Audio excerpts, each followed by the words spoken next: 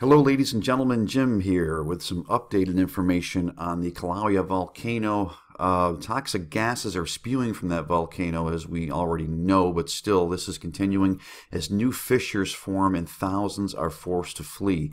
Now, the Hawaii Fire Department on Saturday uh, reported extremely dangerous air quality conditions due to high levels of sulfur dioxide gas in the evacuation area of Leilani Estates and Lanipuna Gardens.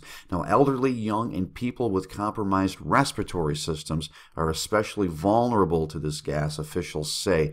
Now, although no fatalities have been reported, officials say lava spurting into the, the uh, residential neighborhood has destroyed at least five homes. Hawaii County spokeswoman Kanani Aton says two of the eight vents that have formed since Thursday are actively spattering lava.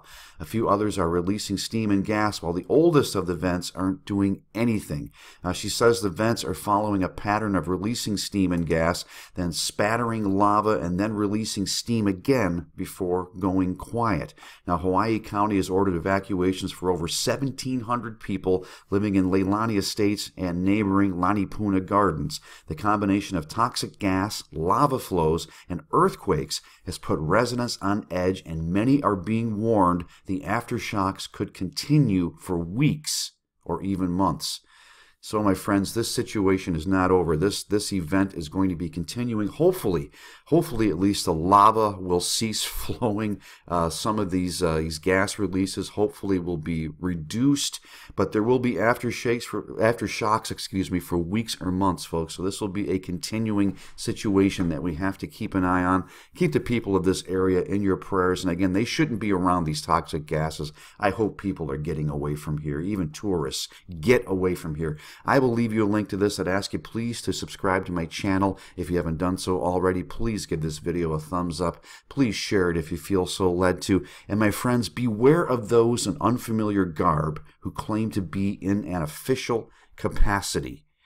Uh, this uh, could be America right now and going into the near future, folks. If you're woke, if you're following world events, my new fiction book, Light, A Wayfarer Story, is a read for you. And it's available in Kindle and paperback, folks. I strongly encourage you to check this out. There's also a link to a free read of chapter one below as well uh, this I, I, consider this to be a very prescient piece of work of mine, and I, I, really encourage you truly to check it out. But most importantly of all, do not be given over to the spirit of fear, but instead of the power of love and of a sound mind that comes through our Lord and Savior, Jesus Christ. God bless you.